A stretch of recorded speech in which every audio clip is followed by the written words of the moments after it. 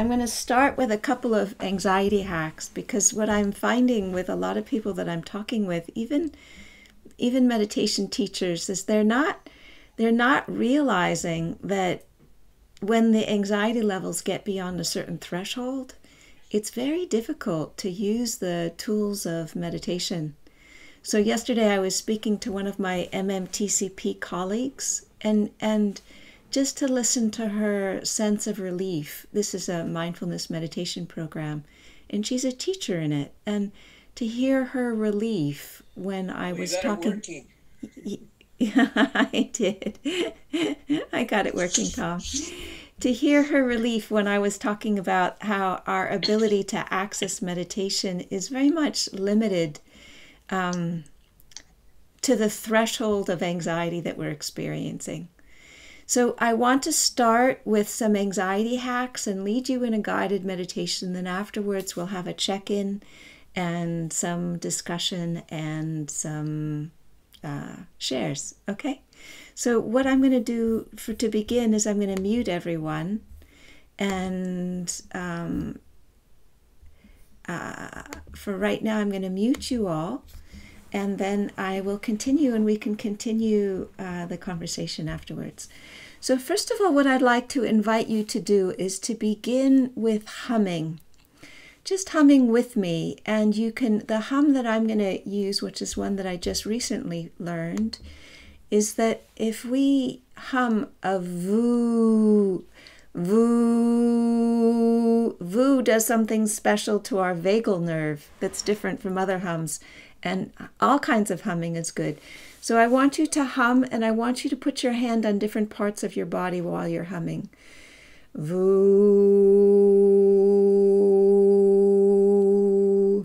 voo,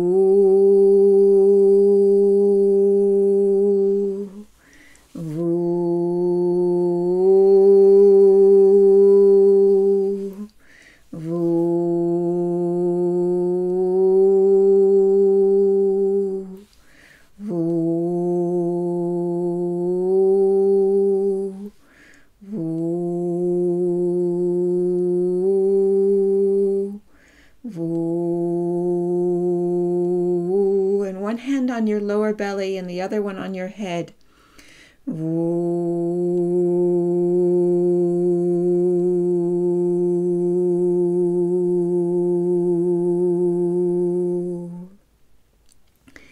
And so notice when you are humming the sensations that you feel on your hand that is holding you. And so we can continue humming just a little bit more and just let your hands move to the parts of your body that are feeling the most tension or the most numbness, the most stress. And so now you can use different kinds of humming as you do this and just let your hand move to different parts of your body. Mm.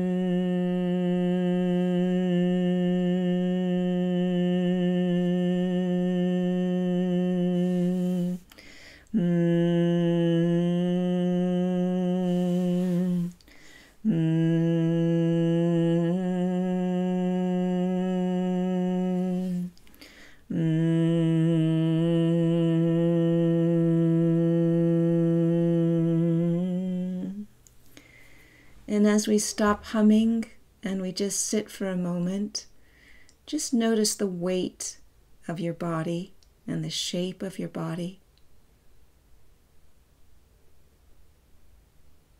And just let your eyes move from one end of the room to the other.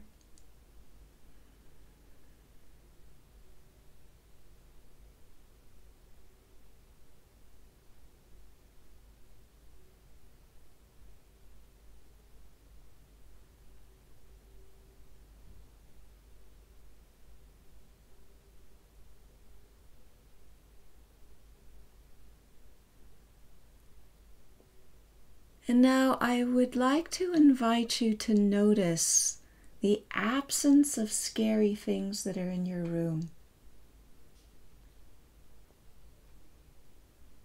Really notice what isn't present, what you don't see.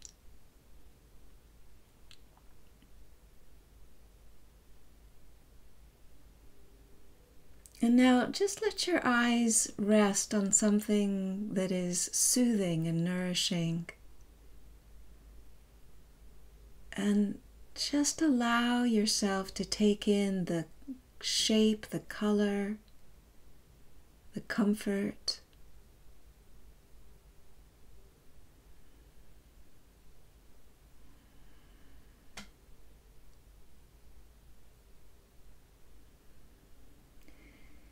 And just notice what happens in your body as you do that. Notice what happens to the tension in your shoulders and in your jaw, behind your eyes.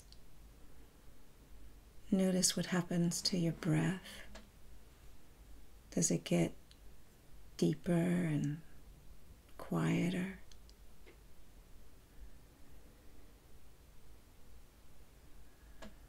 Notice if there's any softening in your diaphragm area or in your lower torso.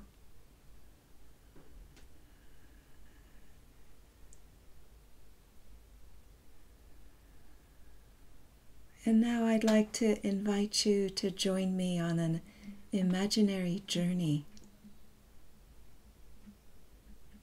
to a very special grove of redwood trees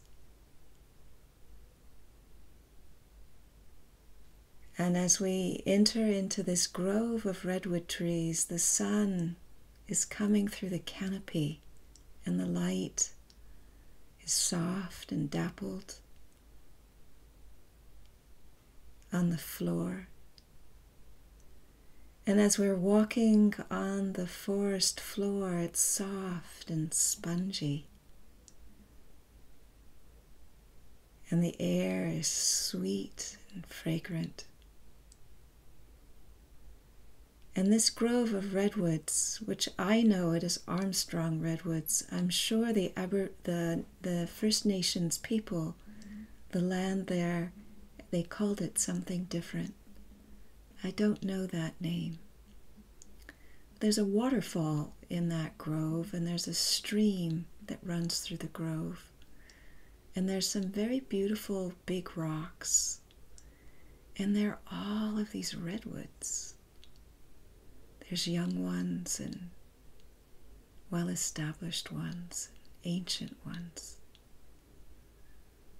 Uh, 800 years old, 1,000 years old, 1,200 years old, 1,400 years old. And some of these redwoods have hollowed out centers of their trunk. And so our job is to just go find a redwood that feels comforting. Whether it's by the waterfall or by the stream, whether it's by a big rock, and whether we want to lean against the tree or we want to spread out on the floor right in front of the tree, or whether we want to crawl inside one of the hollows and feel enveloped by the tree. This is our choice. So find the tree that is your tree and just lean up against it or in it or at the foot of it. And these ancient trees have withstood so much. They've been through storms and fires and droughts.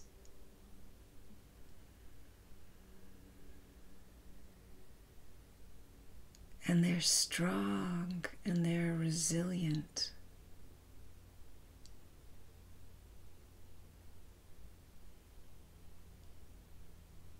And so we can lean in to their strength.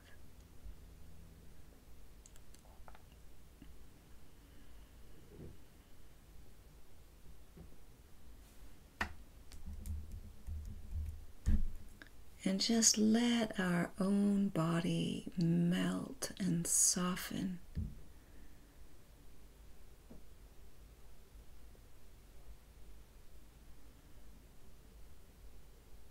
Held physically, energetically, by this powerful ancient grove of redwoods that have been standing here for thousands of years.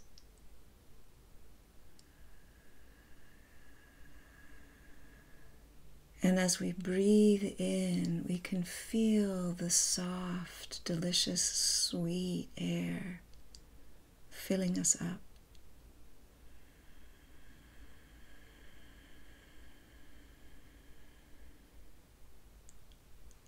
And as we breathe out, we just notice how much more we relax.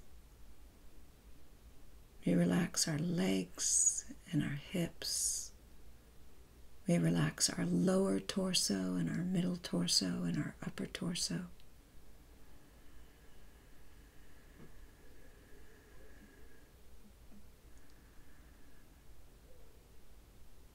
We relax our jaw and our mouth and our tongue and the base of our tongue. We relax our smiling muscles in our eyes and behind our eyes. We relax the base of our skull. Breathing in and out and feeling held. Held by this particular tree and held by this whole grove of ancient ones. The air is fresh and moist, and the sun is dappled through the canopy.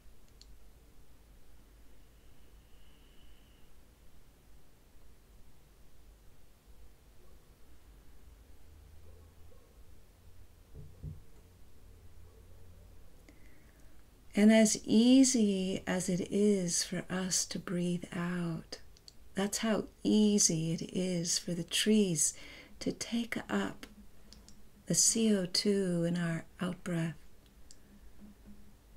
and through their own photosynthetic process transform it into oxygen and release it. And so it isn't an effort to give nor is it an effort to receive. It's as easy as breathing in and breathing out.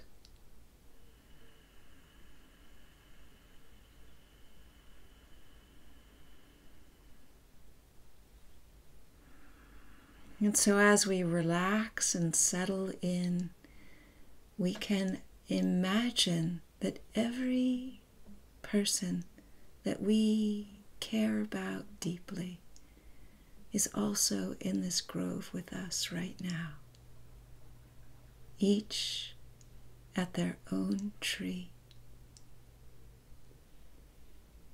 each held and supported and protected, each breathing this sweet, fragrant air.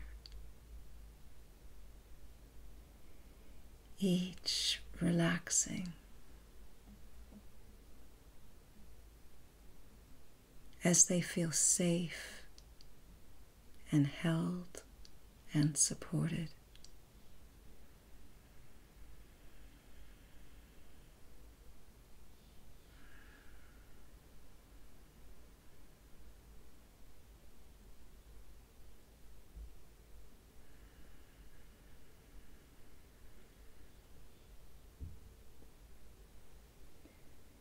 And we can notice that having them here together with us in the same grove, there's this feeling of closeness, even though physically we're not in contact.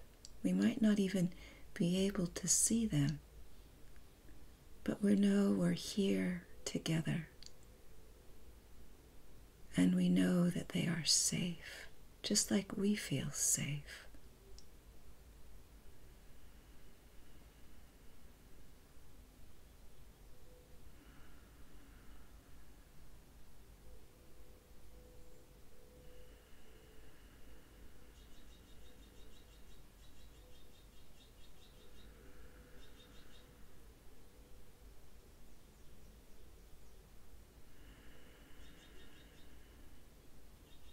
Sometimes what can happen when we start to feel more safe and relaxed is that we can shift our focus of our attention from all the things that we're experiencing, the feelings in our body, the sensations of the of the cloth against our skin or the feeling of the ground underneath us or the tree that we're leaning against. We can shift from the things that we're thinking about or the moods or the feelings that we have.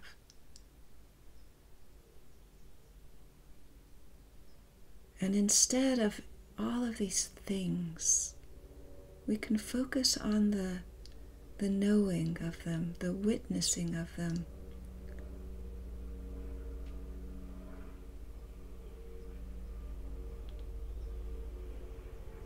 And that too is not an effort. Doesn't have to be an effort.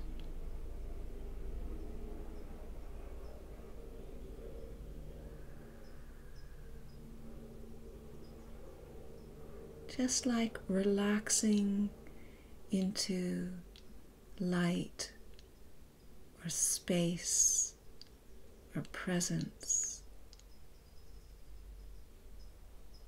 is not something that we do, but it's a shift of focus.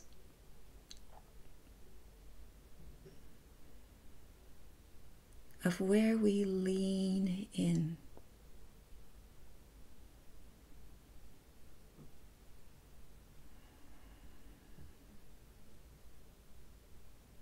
Some may experience it as space, others may experience it as presence, others may experience it as love or clarity or light.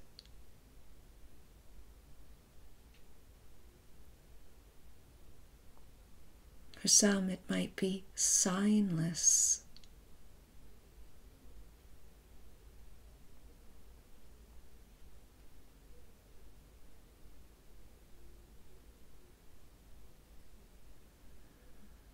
as we lean in,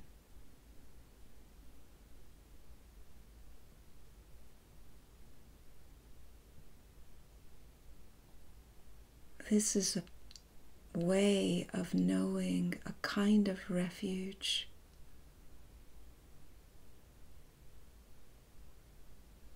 That is unshakable. It's big enough to hold anything. Just like no matter how much weight we give to this tree, it can hold it.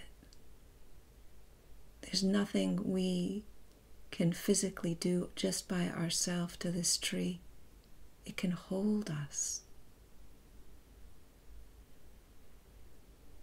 When we lean in to awareness, to the witness of the mind, it's big enough to hold everything. And as we see that, or feel that, or taste that, or get a nuance of that, that's another level of letting go. That I don't have to be the one to figure it all out, or make it right, or fix it.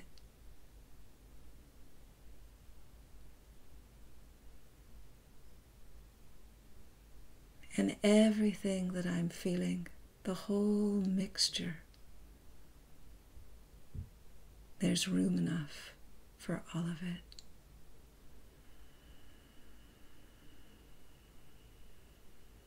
So drink it in. Let it in. Feel it.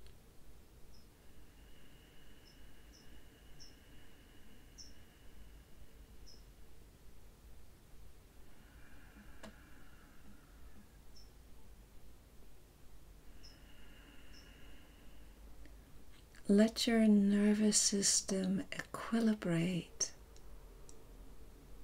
with this level of relaxation and peace and ease.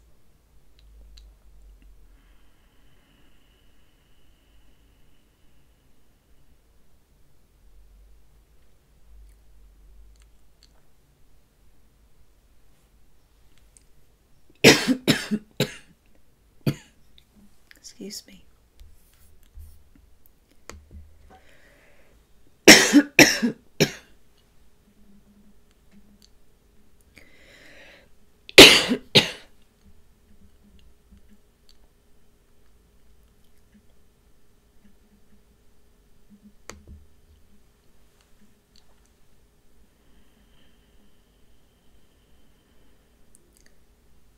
And now, one of the things that we can know in this spaciousness, in this peaceful abiding, is that there is no separation.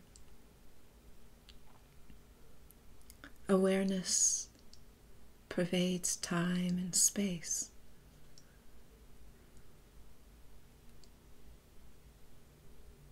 And so when we lean in in this way, there is no sense of isolation or separation or distance. Our family, everyone that we love, everyone that we cherish and care for.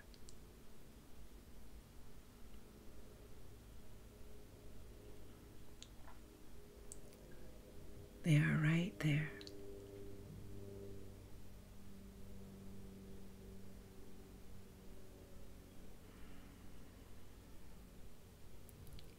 So now coming back into our own body experience, feeling your fingers and your toes, wiggling them. You might even want to stretch a little bit. Move your shoulders and your arms.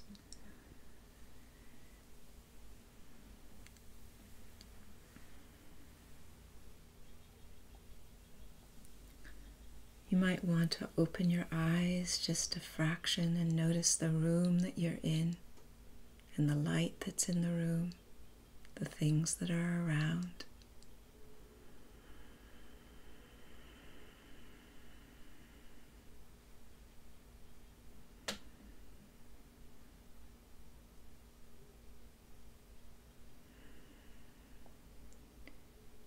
And as we come back into awareness of our own body in our own room, what we can remember is that this quality of awareness doesn't disappear when our eyes are open. And that as important as it is to feel held and supported and safe and protected, part of the resiliency of the trees is that their root systems are interconnected. And so, if one tree has more than it needs, it sends on the root system the abundance so that a tree a couple hundred feet or meters away can receive the excess if they have lack. So when we look to the trees, part of their resiliency is that they are rooted They stay flexible and able to sway in the wind, weather the storms. they are connected in this network with many other trees. And when they have more than they need, they share. And so I invite you to come back into your own body, feeling your weight, feeling the size and the space that you take up.